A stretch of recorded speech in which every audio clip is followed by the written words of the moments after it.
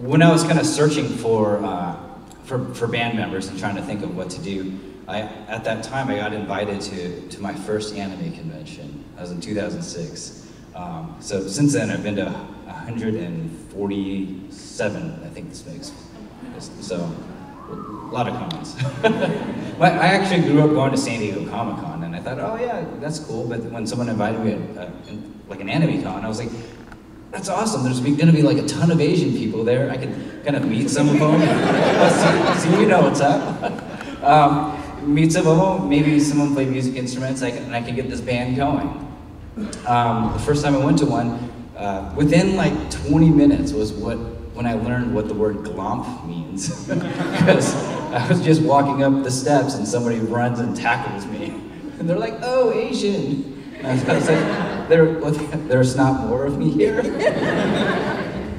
but I remember like just walking through, and I was like, this is awesome. People are like celebrating the culture. Um, so this is definitely a place I want to be. I just didn't find any band members there. Within a couple of months of that convention though, we, we booked our first convention. I didn't even have a full band.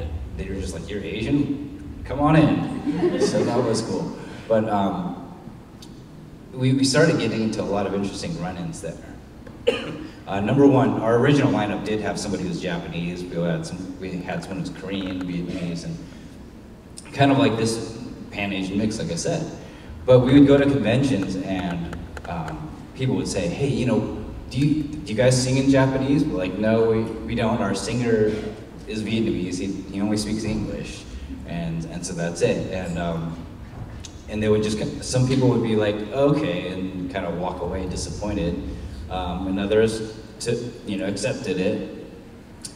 Um, but I always thought it was really interesting because a lot of it, uh, anime conventions kind of celebrate like multiple facets of Asian culture. And I thought, well, even still, like the stormtrooper right down there, that's not like an Asian character from like an anime or something. Yet, like, or the guy dressed up as Jack Sparrow is more accepted than like my not all Japanese band.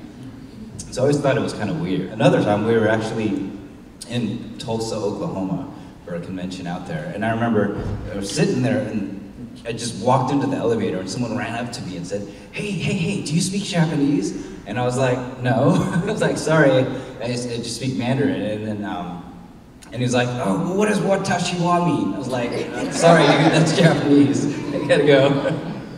Um, it's one of the more amusing things, but I remember another time was we were there and they were kind of asking about the ethnicity of the band. I was like, well, we're to look at this pan-Asian band where Asian Americans of different backgrounds.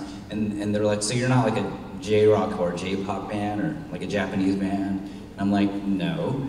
They said, well, you're like the wrong kind of Asian. so I'm like, you know, these white kids running this con aren't the wrong kind of Asian, but, but I am.